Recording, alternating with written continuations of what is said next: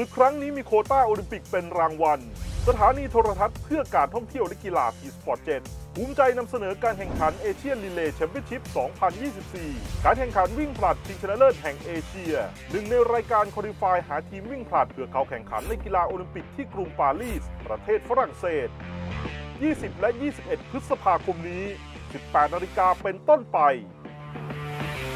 ทีสปอร์ตเจ็ตัวจริงเรื่องกีฬา